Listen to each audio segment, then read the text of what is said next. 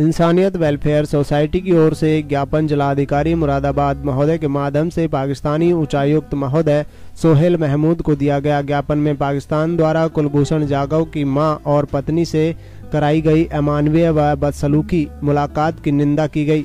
इस संबंध में मौलाना उमर फारूक ने बताया कि इस तरह का कृत्य बेहद शर्मनाक है, जहाँ एक कैदी से मिलने गए उसके परिजनों की चूड़ियाँ उतरवा दी जाती हैं, उनकी जूतियाँ उतरवा दी जाएँ उनकी बिंदी उतरवा दी जाए और उनके सुहाग की निशानी, मंगलसूत्र तथा सारे जेवर उतार कर शीशे की दीवार के पीछे से मुलाकात कराई जाए।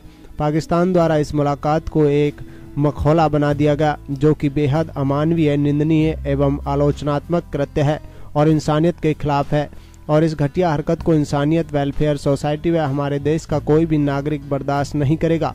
इसी संबंध में इंसानी वेलफेयर की तरफ़ से विरोध दर्ज करवाकर आज एक ज्ञापन जिलाधिकारी महोदय के माध्यम से पाकिस्तानी उच्चायुक्त को भेजा गया। जिन्होंने ये बदसलूकी की कि एक साल तक तो नाटक किया कि कुलभूषण जाधव की माँ को उसके बेटे से मिलवाया जाएगा।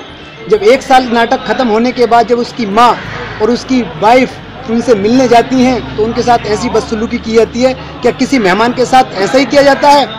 हिंदू पाकिस्तान कहता है कि हम इस्लामी मुल्क हैं। क्या इस्लाम यही सिखाता है कि किसी महिला के साथ ऐसी बदसलूकी को करो?